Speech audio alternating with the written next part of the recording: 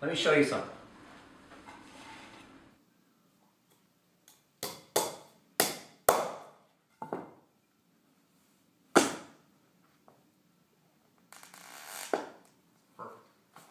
So let me explain to you what just happened.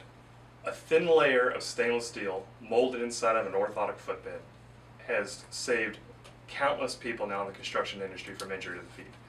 This is the Rhinotough insoles. The technology's been spectacular. I've been in the industry myself. I came up with the idea back in the 80s. I got tired of stepping on nails. It's taken us five years to get it through, get it perfected, get it in stores. It's working spectacular.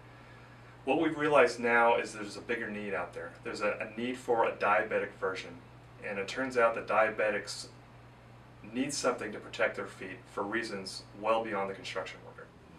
As Ron alluded to, our new product is aimed at type 2 diabetes, which can develop in people who are overweight, as fat interferes with the body's ability to use insulin.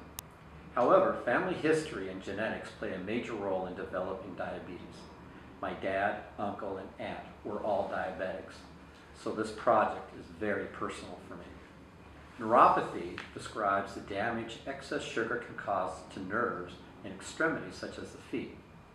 Eventually, the diabetic may not even be able to feel an injury until it's too late to save the foot.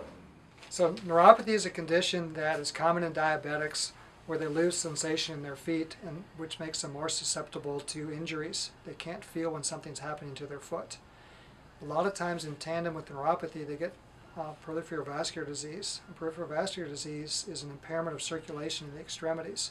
So if they get an injury to their foot, they're more susceptible to an injury not healing and losing part or all of their foot due to amputation.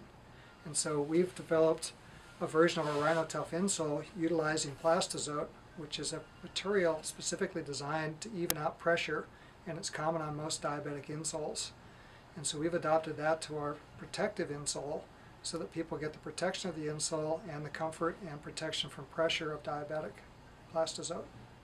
According to the American Diabetes Association, over 100 million U.S. citizens are diabetic or pre-diabetic, and that number is certain to increase as our population becomes older and larger.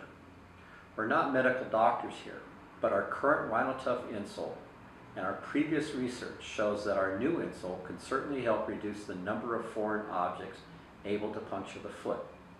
But we need your help to complete the development and to continue the arduous and expensive task of bringing this product to market. Thanks for your consideration.